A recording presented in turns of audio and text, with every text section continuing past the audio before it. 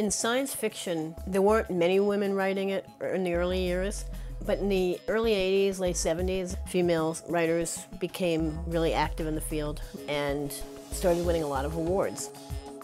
Since I've been in science fiction for the last 30 years or so, I think more and more women are coming into the field of science fiction. Fantasy they've always been in. In Octavia Butler's works, the world looked like the world that I actually saw around me, a realistic experience of a female character in a diverse and complex world. She did speak a lot to issues of uh, gender fluidity, um, for example, in the Xenogenesis Lilith Brood books. She spoke a lot to issues of women trying to lead and dealing with overt sexism and subtle sexism. I'm a feminist and have always, you know, felt that I was a feminist. It's never something I felt that I should be or anyone should be ashamed of.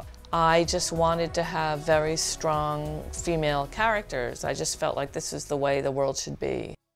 As far as role models go, uh, you know, mom is the first one. My mother grew up on a farm. They were uh, very poor for the, the early years. She was the first child in her family to go to college and graduated in math and engineering and got a job in a lot of ways, I was a generation ahead of my generation because I had a working mother when everybody else's mother was staying home.